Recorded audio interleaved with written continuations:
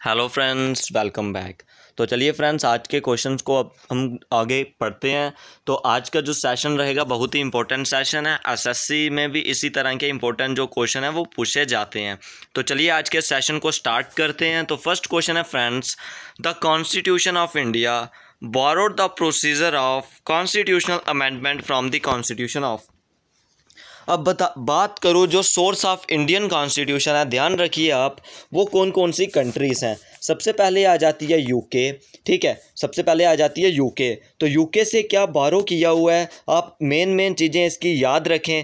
क्या क्या यूके से बारो किया हुआ है? सबसे पहले आ जाती है रेट्स जो रेट्स आती हैं फाइव रेट्स हैं, वो भी यूके से क्या की हुई हैं? वारो की हुई हैं, ठीक है? उसके बाद आ जाता है रेट्स के बाद जो पार्लियामेंट्री गवर्नमेंट है, ठीक है? पीजी लिखते हैं इसको पार्लियामेंट्री गवर्नमेंट ठीक है? उसके बाद नेक्स्ट आ जाता है जो सिंगल सिटीजनशिप एस सी आ गया। सिंगल सिटीजनशिप ठीक है?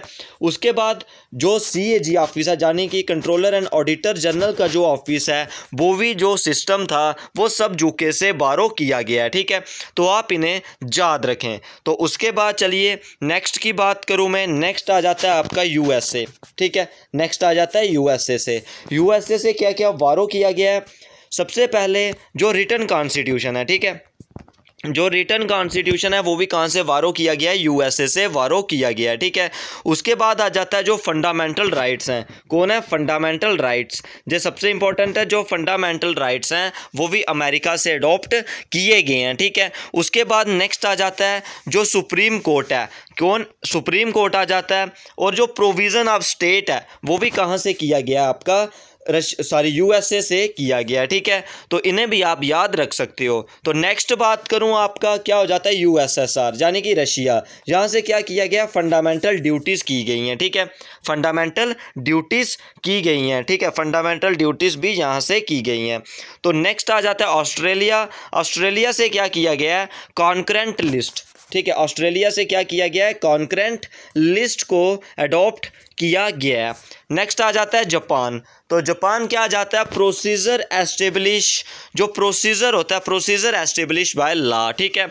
तो नेक्स्ट आ जाता है आपका जो साउथ अफ्रीका है। तो साउथ अफ्रीका से जो प्रोसीजर ऑफ़ अमेंडमेंट है, यानी कि कॉन्स्टिट्यूशनल जो अमेंडमेंट है, वो भी साउथ अफ्रीका से अडॉप्ट किया गया है। उसके बाद जो आता है republic and idea of liberty equality यानी कि प्रियम्बल की बात करूँ, वो भी, वो फ्रांस से अडॉप्ट किया गया है। तो आपका जो फ़र्स्ट क्वेश्चन है the constitution of India borrow the procedure of constitutional amendment from the constitution of तो इस क्वेश्चन का जो आपका सही और करेक्ट आंसर हो जाएगा, वो हो जाएगा फ्रेंड्स आपका ऑप्शन नंबर ए यानी कि साउथ अफ्रीका से। जो कॉन्स्टिट्यूशनल अमेंडमेंट है, वो साउथ अफ्रीका से वारो किया गया है।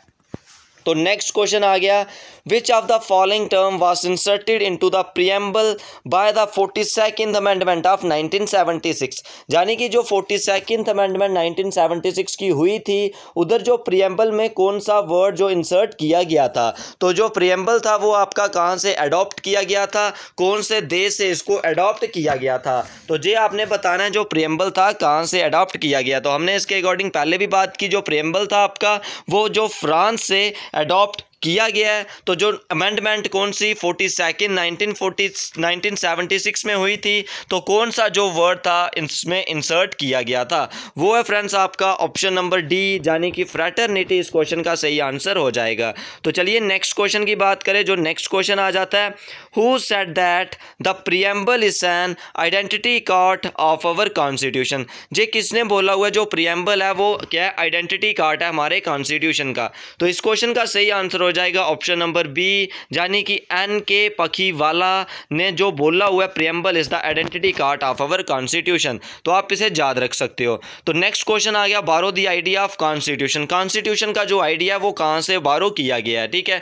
तो constitution the Indian constitution borrow the idea preamble from the constitution आप जी, हमने पहले भी इधर बात की तो आप इसे याद रख सकते हो, ठीक है? तो क्या हो जाता है यूएसए इसका हो जाएगा। तो चलिए नेक्स्ट क्वेश्चन की तरफ़।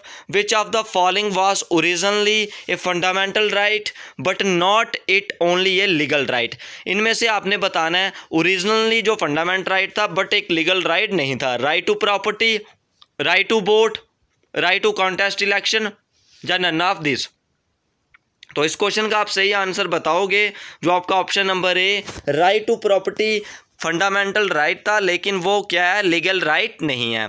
तो नेक्स्ट क्वेश्चन आ जाता है the fundamental right was enshrined in which part of the Indian constitution जो फंडामेंटल राइट right हैं, वो इंडियन कॉन्स्टिट्यूशन के कौन से जो पार्ट में आते हैं? तो क्वेश्चन नंबर जो आपका नेक्स्ट है, इस क्वेश्चन का आपका सही आंसर हो जाएगा। ऑप्शन नंबर क्या?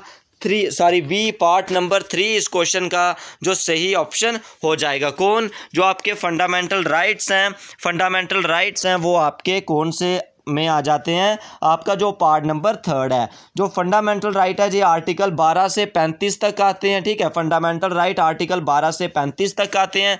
सिक्स फंडामेंटल राइट्स हो जाते हैं। कौन कौन से right right to equality right to freedom right against exploitation right to freedom of religion cultural and educational right कल राइट टू कॉन्स्टिट्यूशनल रेमेडीज तो इसे आप देख सकते हो। तो चलिए नेक्स्ट क्वेश्चन की तरफ़ how many articles and schedules were present in the original constitution of India जो जिस समय जो कॉन्स्टिट्यूशन बना था, उस समय कितने जो आर्टिकल्स थे, वो कितने थे?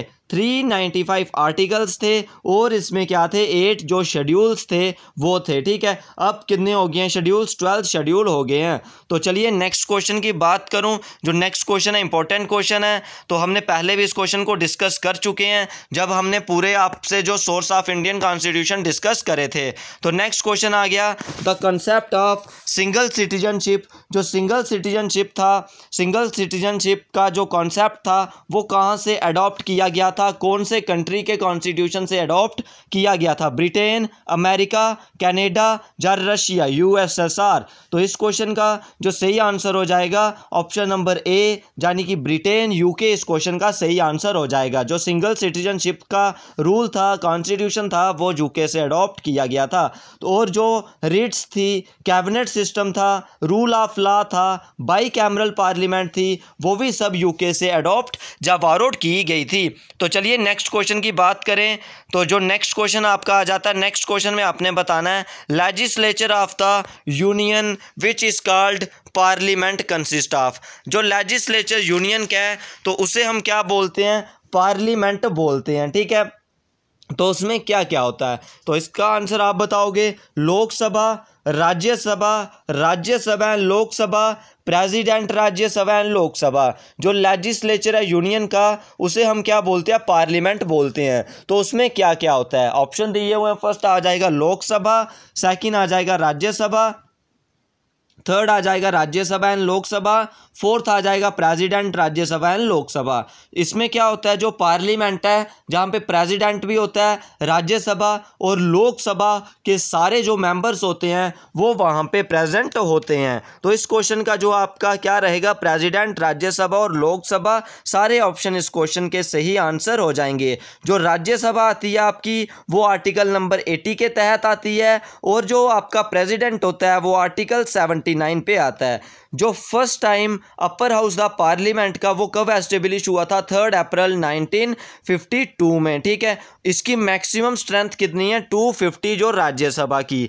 और जो लोकसभा है, जो आर्टिकल 81 में आता है, इसकी मैक्सिमम स्ट्रेंथ कितनी है? 552 है, ठीक है? तो आप इसे भी याद रख सकते हो। तो आज के सेशन में फ्रेंड्स बस इतना ही। चैनल से फ़र्स्ट टाइम जुड़े हो तो चैनल को सब्सक्राइब करें और अपने फ्रेंडों में ज़रूर शेयर करें।